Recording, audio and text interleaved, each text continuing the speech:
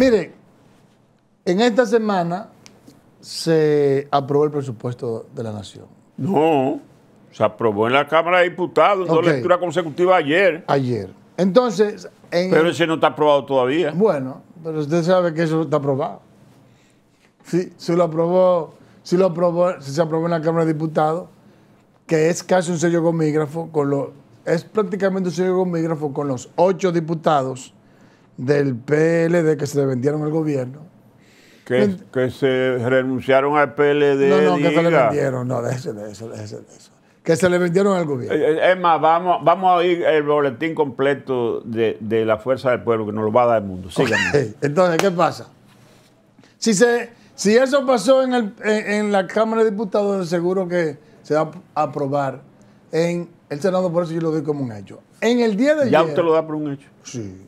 En el día de ayer, el diputado Omar Fernández tuvo una interesante participación, hizo unas observaciones. No vamos a ver la presentación completa porque tiene como 10 minutos y no tenemos el tiempo, pero vamos a ver aunque sea dos minutos para que veamos un par de, de precisiones que le hace bien interesante. Y De- luego yo de haré un Omar. Sí. Vamos a ver. vamos a ver. a Omar Fernández. Partido Fuerza del Pueblo. Buenas tardes, presidente, bufete directivo, colegas, diputados y diputadas. En el día de hoy estamos conociendo, como cada año para esta misma fecha, lo que a nuestra consideración es uno de los proyectos más importantes que se aprueban cada año. Y estamos hablando del presupuesto general del Estado para este próximo año 2024, el cual tiene de particular y distinto al resto, que es el último que estará conociendo este hemiciclo eh, durante este cuatrenio 2020-2024.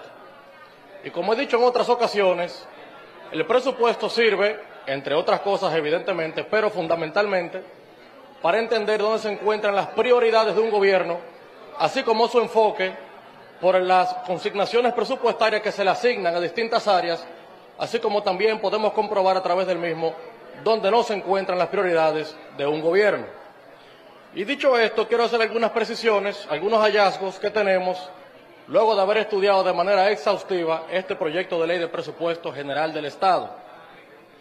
La primera precisión que hacemos es el hecho de que se presenta una reducción de un 20% en gasto de capital. Y ese 20% supone unos 40 mil millones de pesos menos en gasto de capital, como acabo de decir. Y para poner en mejor contexto a quienes sintonizan esta transmisión en este momento, gasto de capital no es más que inversión en obras de infraestructura, lo que termina por generar riqueza realmente a los pueblos. Y por demás, también aclarar que esa reducción de ese 20% significará la menor inversión en los últimos 70 años en la República Dominicana para obras de infraestructura en nuestro país. Igual pudimos identificar un aumento de un 9% en gasto corriente. Ese 9% significa la suma astronómica de 103 mil millones de pesos que gasto corriente, para aquellos ciudadanos que también sintonizan esta transmisión, deben saber que, entre otras cositas, gasto corriente significa nómina en el Estado.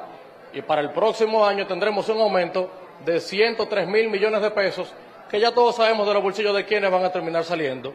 Pero como mandato constitucional que tenemos de rendir cuentas, es por eso que lo hacemos de manera responsable desde esta curul. Pero lo más preocupante de todo esto es el hecho de que una vez más, otro año más, no se ajusta ni se indexa los salarios por inflación como manda el Código Tributario y como manda la ley. Al día de hoy, las personas físicas asalariadas que devengan un sueldo de 34.600 pesos empiezan a pagar impuestos sobre la renta a partir de este número en adelante, cuando en realidad, si se aplicara la ley, debería ser a partir de los 49 mil pesos.